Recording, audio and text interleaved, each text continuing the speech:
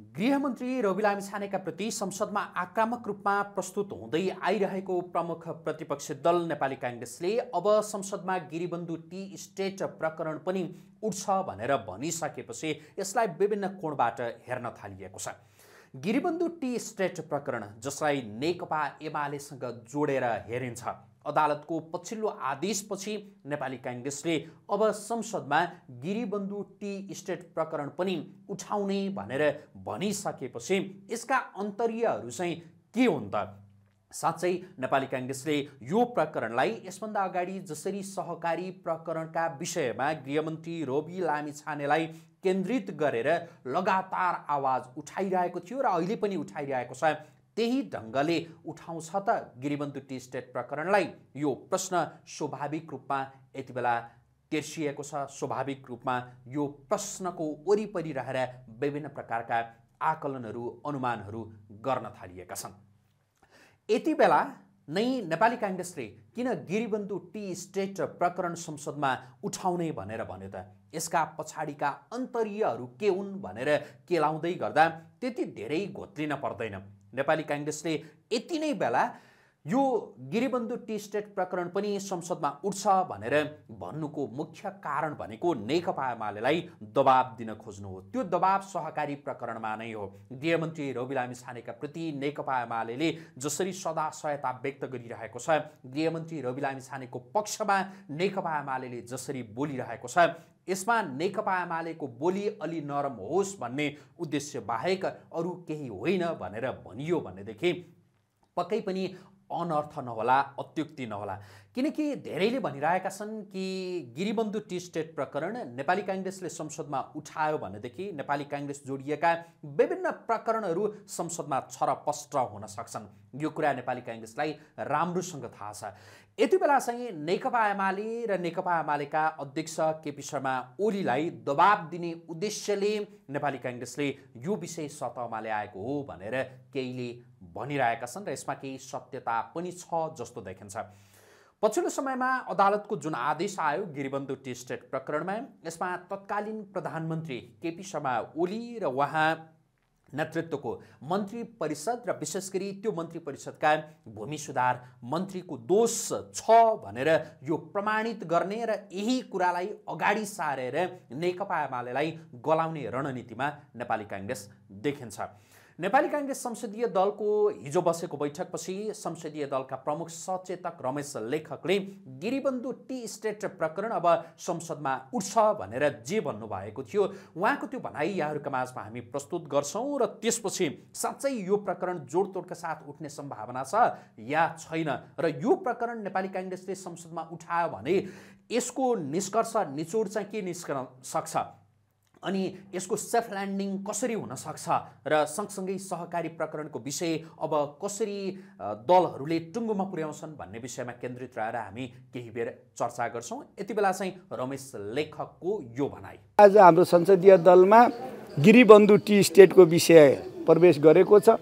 यसका बारेमा पहिले भएका काम कुराहरू अहिले पछिल्लो समयमा सम्मानित अदालतबाट फैसला पनि भएको अवस्था छ। यसको विषय आज सङ्घीय संसद हाम्रो संसदीय दलमा प्रवेश गरेको छ। यो विषयलाई हामी सबै कोणबाट सबै किसिमले अध्ययन गरेर अर्को बैठकमा हामी यसका बारेमा धारणा बनाएर सार्वजनिक गर्छौँ। नेपाली काङ्ग्रेस संसदीय दलका प्रमुख सचेतक रमेश लेखकको भनाइ यहाँहरूले सुनि नै हाल्नुभयो। उहाँ भन्दै हुनुहुन्थ्यो कि संसदमा अब गिरिबन्धु टी स्टेटका विषयमा पनि आवाज उठ्नेछ। नेपाली काङ्ग्रेसले यो आवाज यति नै बेला किन उठाउन चाह्यो त किन उठाउन खोज्यो त भन्ने विषय छर्लङ्ग नै छ। किनकि गिरिबन्धु टी स्टेट यो पछिल्ला दिनहरूमा मात्रै आएको होइन। गिरिबन्धु टी स्टेट प्रकरण ठिक यति नै बेला सार्वजनिक भएको होइन। सञ्चार माध्यममा यो प्रकरण यति नै बेला छापिएको या प्रसारित भएको विषय पनि होइन। निकै पहिलेदेखि नै गिरिबन्धु टी स्टेट प्रकरण सार्वजनिक सञ्चार माध्यमहरूमा आएको थियो र यो विषय अदालतमा समेत रहेको थियो। अदालतको आदेश समेत एक हिसाबले आइसकेको अवस्था छ। अनि नेपाली काङ्ग्रेसले किन यही समयमा चाहिँ यो विषयलाई अगाडि ल्यायो त? यसका पछाडिको मूल कारण भनेको नेकपा एमाले गृहमन्त्री रोबी लामी छानेका विषयमा विशेष गरी सहकारी प्रकरणमा लिएको पक्ष दर्ता हो र यो गिरिबन्धु टी स्टेट प्रकरण पनि उठ्छ भनेर नेकपा एमालेलाई तर्साइसकेपछि नेकपा एमालेलाई एक हिसाबले भन्ने हो भनेदेखि दबाब दिइसकेपछि सहकारी प्रकरणमा संसदीय छानबिन समिति बनाउनका लागि नेकपा एमाले तयार हुन्छ नेकपा एमाले गल्छ भन्ने सोचका साथ नेपाली काङ्ग्रेसले यो विषय संसदमा उठाउने भनेर भनेको हुनसक्छ। तर नेपाली काङ्ग्रेसले यो विषय संसदमा उठाउँदै नउठाउला संसदमा यो विषय प्रवेश नै नगराउला बोल्दै नबोल्ला भनेर भन्न त सकिन्न। तर सहकारी प्रकरणमा जसरी ऊ जोडतोडका साथ बोलिरहेको छ त्यही ढङ्गले भने बोल्न पक्कै पनि सक्दैन। किनकि नेपाली काङ्ग्रेसले यो विषयमा त्यो ढङ्गले बोल्यो भनेदेखि भोलिका दिनमा यसको सेल्फ ल्यान्डिङ निकै कठिन हुनसक्छ किनकि नेकपा एमालेसँग सत्ता सहयात्राको हात पनि कुनै न कुनै रूपले भित्री रूपमा नेपाली काङ्ग्रेसले लम्काइरहेको छ। यो प्रकरणलाई जोडतोडका साथ संसदमा उठाउने हो भने नेकपा एमालेसँगको दूरी बढ्छ र भोलिका दिनमा सत्ता सहयात्राको ढोका पुरै बन्द हुन्छ भन्ने विषयमा नेपाली काङ्ग्रेस जानकार छ।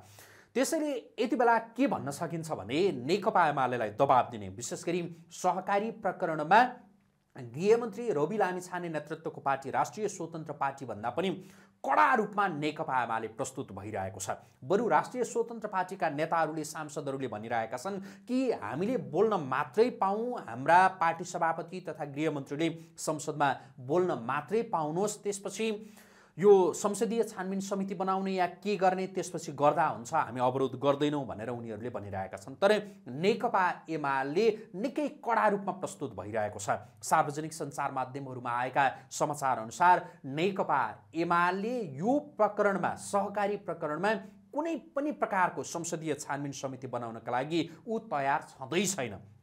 त्यसो त नेकपा एमालेका अध्यक्ष केपी शर्मा ओलीले नेकपा एमाले संसदीय दलको बैठकमा नै भनिसक्नु भएको छ कि नेपाली काङ्ग्रेस आज गृहमन्त्री रवि लामी छानेका विषयमा संसदीय छानबिन समिति बनाऊ भनेर भन्छ र जब संसदीय छानबिन समिति बनाइयो भनेदेखि त्यसपछि नेपाली काङ्ग्रेसले गृहमन्त्रीको राजीनामा माग्छ।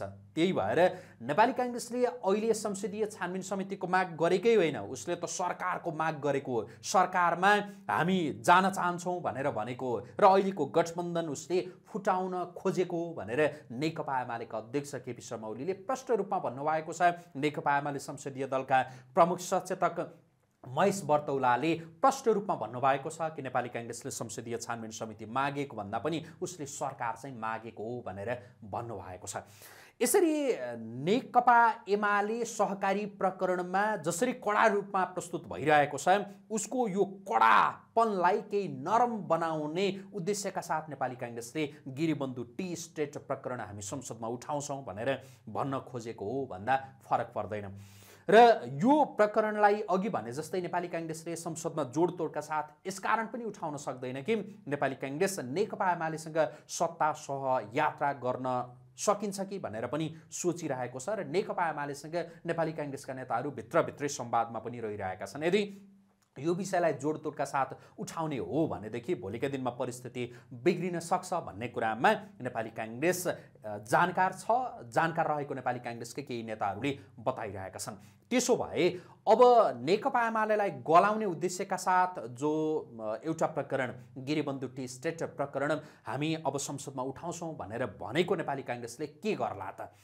यसलाई यसरी हेर्न सकिन्छ कि संसद बैठक उसले लगातार अवरोध गर्दै आइरहेको छ र संसद बैठकमा उसले सहकारी प्रकरणमा छानबिन गर्नका लागि संसदीय छानबिन समिति बनाइनुपर्छ भनेर भनिरहेको छ। संसदीय छानबिन समिति नबनाएसम्म हामी संसदका काम कारवाहीहरू अगाडि बढ्न दिँदैनौँ भनेर भनिरहेको छ र नेपाली काङ्ग्रेसका सांसदले संसदमा बोल्ने क्रममा गिरिबन्धु टी स्टेट पनि छ। यही भएर गिरिबन्धु टी स्टेट प्रकरण पनि रहेका कारणले र सँगसँगै यो सहकारी प्रकरणमा नेकपा एमालेका धेरै नेता कार्यकर्ताहरू पनि पर्न सक्छन् भन्ने भएका कारणले चाहिँ नेकपा एमाले सहकारी प्रकरणमा संसदीय छानबिन समिति नबनाउने अडान लिइरहेको हो। त्यसैले हामी छोड्दैनौँ संसदमा यो विषय उठाउँछौँ भनेर यसो चाहिँ उसले भन्न सक्छ।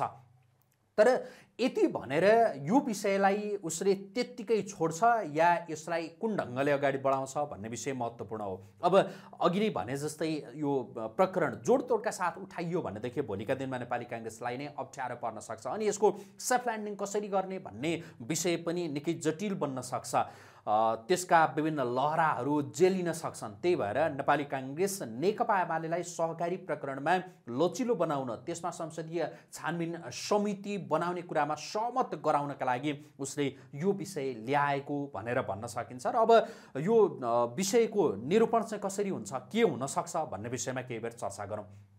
अहिले प्रधानमन्त्री पुष्पकमल दाहाल प्रचण्ड सहकारी प्रकरणमा संसदीय छानबिन समिति बनाउने विशेष गरी व्यक्ति नतोकिकन यो सहकारी प्रकरणमा संसदीय छानबिन समिति बनाउने कुरामा सहमत हुनुहुन्छ भन्ने कुरा बाहिरिसकेको छ।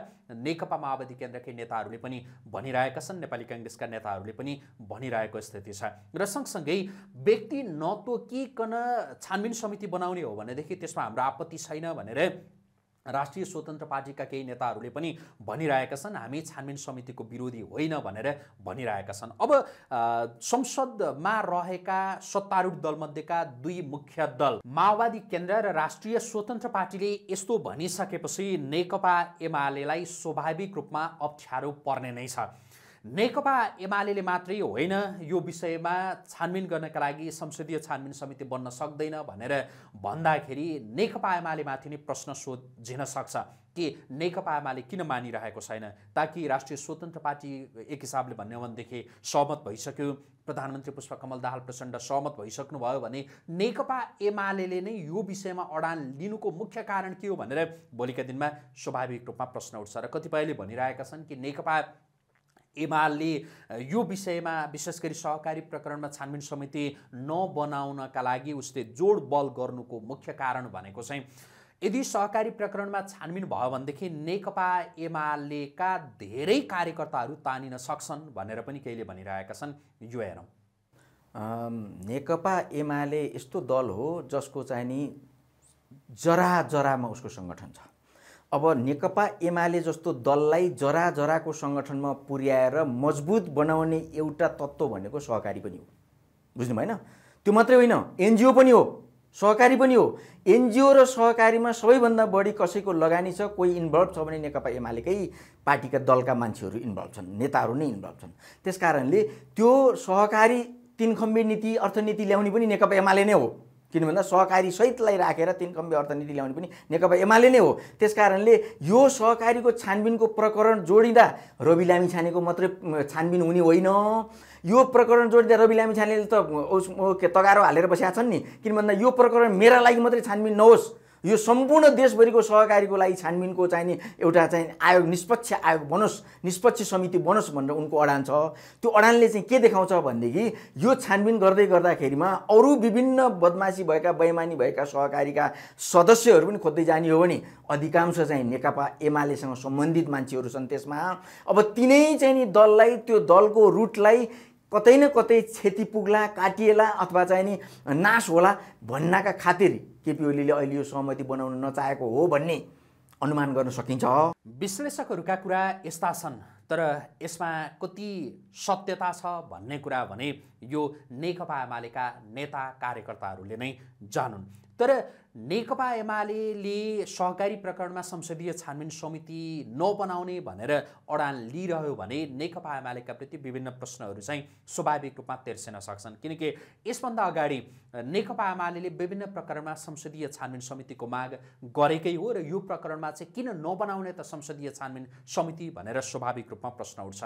जस्तो तत्कालीन अर्थमन्त्री जनार्दन शर्माका विषयमा संसदीय छानबिन समिति बनाउनै पर्छ यो नबनाएसम्म संसद चल्नै दिँदैनौँ भनेर त्यति बेलाको प्रमुख प्रतिपक्षी दल नेकपा एमाले भनेको थियो।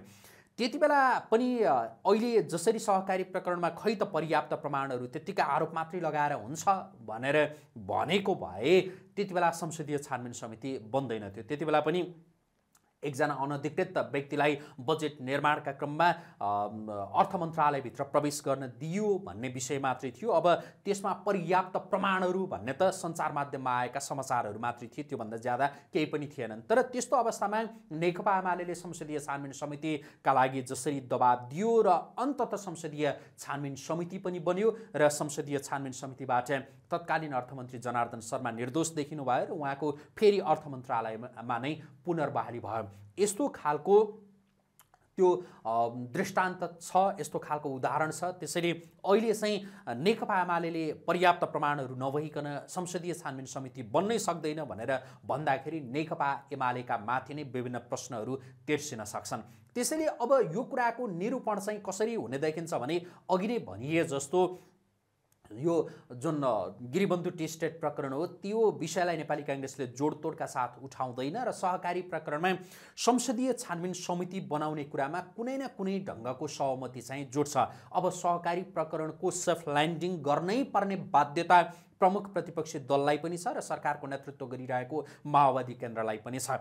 त्यसैले अब यो विषयमा आज या भोलि दिनभर कसरी सहमति जुट्न सक्ला भनेर भन्न सकिन्छ भने यसभन्दा अगाडि नेपाली काङ्ग्रेसले संसदीय दलको बैठकबाट नै निर्णय गरेको थियो कि गृहमन्त्री रवि लामी छानेलाई संसदको रोस्टममा बोल्न दिने भनेर। तर नेपाली काङ्ग्रेसले गृहमन्त्री रवि लामी छानेलाई संसदको रोस्टममा बोल्न दिइसकेपछि तत्कालै आफूले बोल्न पाउनुपर्छ भन्ने माग पनि संसदको कार्यव्यवस्था परामर्श समितिमा गरेको थियो र त्यो मागका विषयमा सभामुख देवराज घिमिरे अलिक फरक ढङ्गले प्रस्तुत भइसकेपछि संसदका गतिविधि त्यो दिन अवरुद्ध गरेको संसद अवरुद्ध गरेको भनेर नेपाली काङ्ग्रेसका केही नेताहरूले भनिरहेका छन्। त्यसैले अब के हुनसक्छ भनेदेखि गृहमन्त्री रवि लामी छानेलाई बोल्न दिने संसदको रोस्टममा। त्यसपछि नेपाली काङ्ग्रेसले संसद अवरोध गर्ने आफ्ना कुरा राख्ने यदि गृहमन्त्री रवि लामी छानेको भनाइका प्रति नेपाली काङ्ग्रेसलाई चित्त बुझेन भने र त्यसपछि चाहिँ संसदीय छानबिन समिति बनाउने र त्यो संसदीय छानबिन समिति बनाउने कसरी भने व्यक्ति विशेष नतोक्ने गृहमन्त्री रवि लामी छानेको नाम नतोक्ने र समग्र सहकारी प्रकरणमा छानबिन गर्नका लागि संसदीय छानबिन समिति बनाउने भनेर यस्तो खालको सहमति जुट्न सक्ने प्रबल सम्भावना सम्भावना छ किनकि व्यक्तिको नाम नतोकिकन समग्र यो प्रकरणमा संसदीय छानबिन समिति बनाउन सकिन्छ भनेर नेपाली काङ्ग्रेसले भनिरहेको छ। बारम्बार उसले के भनिरहेको छ भने व्यक्तिको नाम तोक्नै पर्छ भनेर हामीले भनेका छैनौँ। त्यसरी पनि नबुझियोस् भनेर नेपाली काङ्ग्रेसले भनिरहेको छ। र सँगसँगै प्रधानमन्त्री पुष्पकमल दाहाल प्रचण्डले पनि समग्रतामा छानबिन गर्ने कुरामा म असहमत छैन भनेर उहाँले भनिरहनु भएको छ। राष्ट्रिय स्वतन्त्र पार्टीका नेताहरूले पनि पछिल्ला दिनहरूमा यो आवाज निकाल निकालिरहेका छन् कि मात्रै हामीले बोल्न पाऊँ त्यसपछि जे जे गर्ने हो गर्दा हुन्छ भनेर उनीहरूले पनि भनिरहेका छन्। यता नेकपा एमाले भने संसदीय छानबिन समिति आवश्यक छैन र यो विषय का लागि संसदबाट कुनै पनि छानबिन समिति बनाउन पर्दैन भनेर उसले भनिरहेको छ। यसलाई हेर्दाखेरि नेकपा एमाले एकातिर र अन्य दलहरू चाहिँ अर्कातिर देखिन सक्ने सम्भावना छ र जसका विषयमा छानबिन गर्नका लागि छानबिन समिति बनाऊ भनेर नेपाली काङ्ग्रेसले भनिरहेको छ। त्यही दल भनौँ राष्ट्रिय स्वतन्त्र पार्टी नै ल समग्रतामा छानबिन गर्नका लागि तयार छौँ भनेर उसले भन्दै गर्दा नेकपा एमाले मात्रै यसमा बाधक बन्छ भनेर भन्न सकिन्न र अन्तत नेकपा एमाले पनि यसमा सहमत हुन सक्ने त्यो प्रबल सम्भावना देखिन्छ। तर केही गरी नेकपा एमाले यसमा सहमत भएन भनेदेखि चाहिँ अहिलेको राजनीतिक परिदृश्यलाई हेर्दाखेरि नेकपा एमाले बाहेकको अर्को नयाँ समीकरण बन्न सक्छ नेकपा एमाले र राष्ट्रिय स्वतन्त्र पार्टी बाहेकको नयाँ सत्ता समीकरण बन्न सक्छ भनेर पनि केही विश्लेषकहरूले भनिरहेका छन् र केहीले त ठोकुवा नै गरेका छन् कि अब केही दिन पनि अब केही दिनमा यो विषयको छिनोफानो भएन या भनौँ टुङ्गो लागेन। यो संसदीय छानबिन समिति बनाउने या नबनाउने भन्ने विषयमा कुनै टुङ्गो लागेन भनेदेखि त्यति बेला माओवादी केन्द्र र नेपाली काङ्ग्रेस मिल्न सक्छन् र पुरानै गठबन्धन बिउतिन सक्छ भनेर पनि भनिरहेका छन्। अब पुरानो गठबन्धन बिउतिन सक्ला या नसक्ला यो विषयमा अहिले नै विश्लेषण गर्न हतारो हुनेछ। तर संसदको गतिविधि यही ढङ्गले चाहिँ लामो समय अगाडि बढ्न सक्दैन अघि बढ्दैन भनेर ठोकुवा चाहिँ गर्न सकिन्छ कि कुनै न कुनै प्रकारको सहमति जुट्न सक्छ र सहमति जुट्न सक्ने मुख्य बिन्दु भनेको गृहमन्त्री रवि लामी छानेलाई संसदको रुष्टमा गएर बोल्न दिनका लागि नेपाली काङ्ग्रेस सहमत हुने त्यो लगत्तै नेपाली काङ्ग्रेसका सांसदले सदनमा बोल्ने गृहमन्त्री रवि लामी छानेले व्यक्त गरेको भनाइका प्रति। त्यसपछि संसद अवरोध गर्ने र संसद अवरोध गरिसकेपछि समग्रतामा सहकारी प्रकरणमा छानबिन गर्नका लागि संसदीय छानबिन समिति बनाउने यसमा माओवादी केन्द्र सहमत हुने नेपाली काङ्ग्रेसको माग बमोजिम र त्यसमा यदि नेकपा एमाले सहमत भएन भनेदेखि नयाँ सत्ता समीकरणको बाटो तय गर्ने यस्तो खालको सहमतिको सम्भावना देखिन्छ भनेर केही विश्लेषकहरूले भनिरहेका छन्। अब यसका विषयमा के हुन्छ कसो हुन्छ विकसित राजनीतिक घटनाक्रमलाई आधार मानेर विभिन्न सूचनाका आधारमा विभिन्न समाचार स्रोतका आधारमा हामी अर्को भिडियोमा विस्तृत चर्चा गर्नेछौँ। अहिलेका लागि चाहिँ यहाँहरूले हामीलाई हेरिदिनु भयो सुनिदिनु भयो। यसका लागि धेरै धेरै धन्यवाद। नमस्कार।